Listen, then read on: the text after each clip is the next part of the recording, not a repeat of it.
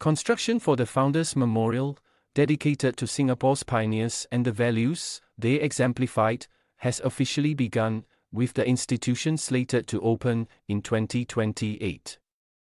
The memorial and gardens by the Bay's Bay East Garden will offer future visitors an integrated gallery and gardens experience, said the National Heritage Board NHB.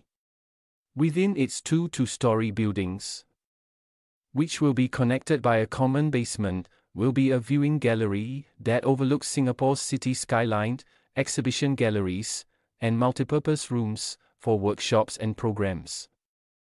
NHB said that multiple paths will extend from the memorial into the larger Bay East Garden, with the memorial itself designed to depict a path, a symbol of the nation building journey that Singapore's founding generation and its leaders undertook.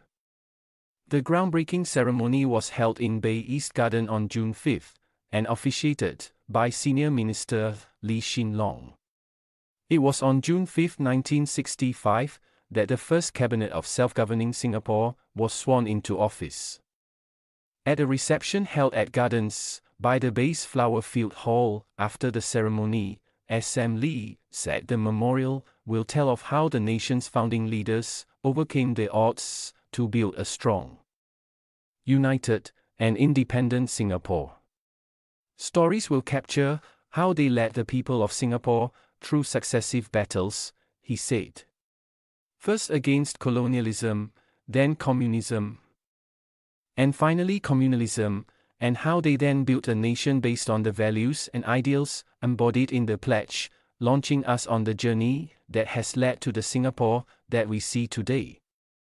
He was joined at the ceremony by Minister for Culture, Community and Youth Edwin Tong, Minister for National Development Desmond Lee, Founders Memorial Committee co-chairs Mr. Lee, Tzu Yang and Professor Tan Tai Yong as well as community representatives, including students, memorial volunteers, and donors. Those who participated in the groundbreaking planted saplings that were grafted from trees planted by Singapore's leaders during the early years of the nation's greening journey. Species planted include the yellow flame Peltophorum pterocarpum, a native species that was planted by founding Prime Minister Lee Kuan Yew in 1971 at Tanjong Pagar Community Club.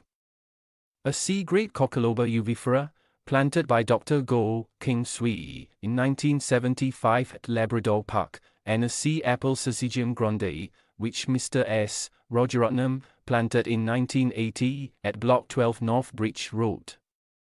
The saplings planted on June 5 will be featured in the Founders Memorial's Landscaping in the Future, said NHB. The memorial, mooted in 2015 following Mr. Lee Kuan Yew's death, was previously slated to be completed in 2027. But its construction timeline was affected by the COVID 19 pandemic.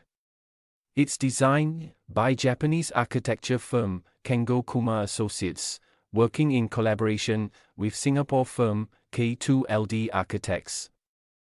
Was announced in March 2020 following an international competition launched in January 2019. NHBE said the memorial aims to inspire Singaporeans to commit themselves towards a better future.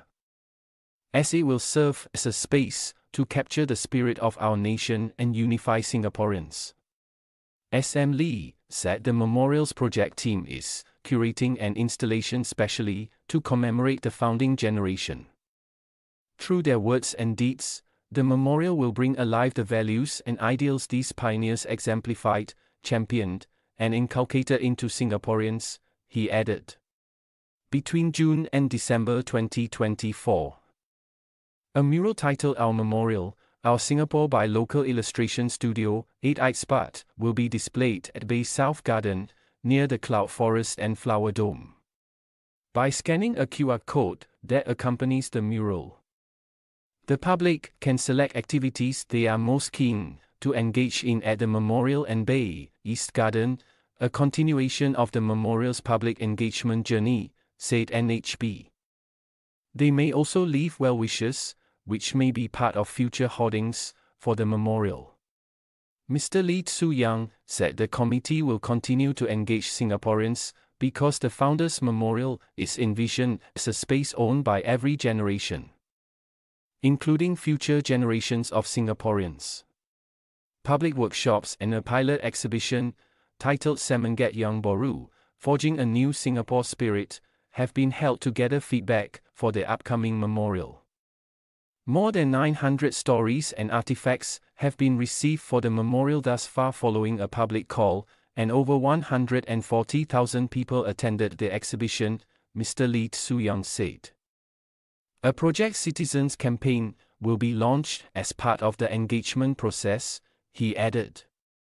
Singaporeans will be invited to contribute stories about the founding history of Singapore as part of the campaign, which will include a showcase on citizenship and multiculturalism.